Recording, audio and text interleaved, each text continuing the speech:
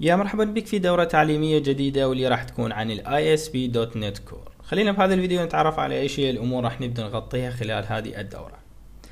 أول راح تكون عندنا مقدمة عامة عن هذه التقنية شنو هذه التقنية وإيش هي مميزاتها وإختلافها عن ال .NET وأيضا راح نبدأ نتعرف على كيفية تهيئة متطلبات العمل وبيئة التنصيب الخاصة في هذه التقنية.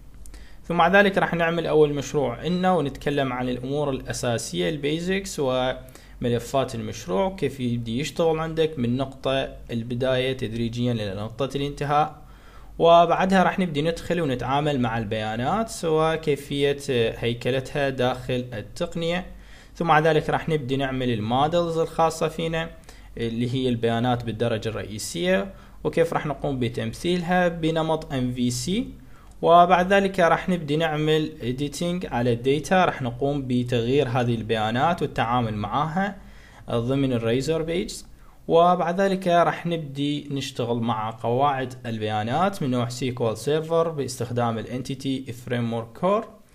وبعد ذلك راح نبدي نتعرف على كيفية استهلاك هذه ال models وهذه ال controllers لبناء الواجهة أو لعرضها والتحكم فيها واستهلاكها باستخدام الواجهات.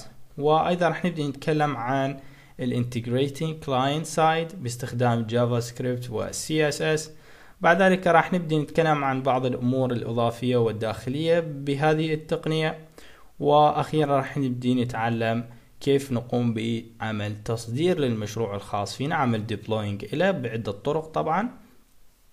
وبعد ما نكمل هذا ال section بشكل كامل راح تكون عندنا section آخر وهو عمل مشروع متكامل. نبدي نستهلك فيه كل هذه الأمور اللي تعلمناها سابقا.